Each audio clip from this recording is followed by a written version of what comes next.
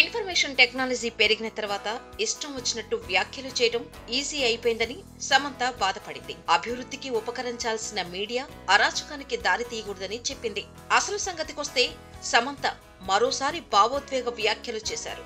ఇటీవల ఆమెపై సోషల్ మీడియాలో బీభత్సంగా ట్రోలింగ్ జరుగుతున్న విషయం తెలిసిందే. ఈ ట్రోలింగ్ పై ఆమె స్పందిస్తూ నాపై ఇష్టానుసారం అసభ్యంగా పోస్టులు పెట్టడం సరికాదని తెలియజేశారు. తాజాగా ఆమె విక్కీ కౌశల్ తాప్సీతో కలిసి ఓ బాలీవుడ్ ఎంటర్టైన్మెంట్ ఛానల్ ఇంటర్వ్యూలో పాల్గొన్నారు. ఈ ఇంటర్వ్యూలో సమంత తన పర్సనల్ విషయాలపై భావోద్వేగంగా మాట్లాడారు. ఆమె మాట్లాడుతూ ఎంతో కష్టపడి నా కెరీర్ను నిర్మించుకున్నా ఈ ఏడాది నా వ్యక్తిగత జీవితానికి గట్టి ఎదురుదెబ్బ తగిలింది. నా ఆశలన్నీ శిథిలమయ్యాయి. ఎంతో మనోవేదనకు గురయ్యా.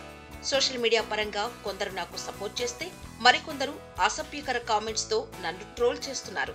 నన్ను ట్రోల్ చేసేవారికి నేనంటే నచ్చని వారికి చెప్పేది ఒకటే. అదేంటంటే నా అభిప్రాయాలు మీకు నచ్చాలని రూలేం లేదు.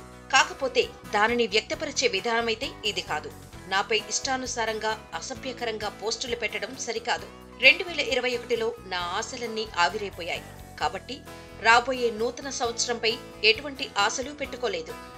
భవిష్యత్తు కాలం ఎలా ఉన్నా ధైర్యంగా స్వీకరించడానికి సిద్ధమయ్యాను అని సమంత వివరించింది.